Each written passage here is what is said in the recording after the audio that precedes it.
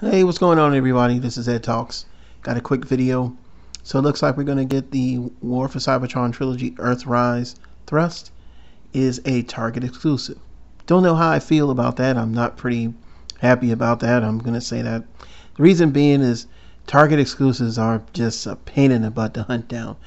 Uh, but at least it's not a red card exclusive, which of course I was very upset with that with the whole uh, releasing a Red Wing, which they turned around and sold separately. Um, you can buy him from you know places like Entertainment Earth.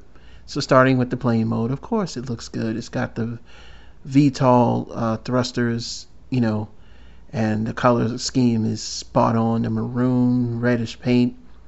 I get why it's Target exclusive, and you know, Decepticon symbols there on the wings. Same posability as the other cone heads and seekers alike for Earthrise uh, looks really good. So I think overall, there's not much to say about it. It's red, it's a cone head, it's thrust.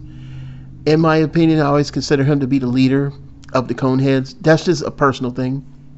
Um, but what are your thoughts about it today? Uh, mainly it being a Target exclusive, being kind of hard to find, and you know, I mean, hey, would you want to go out and do to rush to get them? And what about people living in other countries?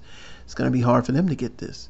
So thanks for watching, like, subscribing, and sharing. Thanks to all my new subscribers for uh, coming to my channel. I'm going to try to give the best I can of content, and uh, as soon as I get more toys, I'll put them up. I've got plenty to do. Got a few reviews I'm going to do over the weekend of some older items, um, some rare and expensive, so stay tuned for that. And thanks for watching, everybody.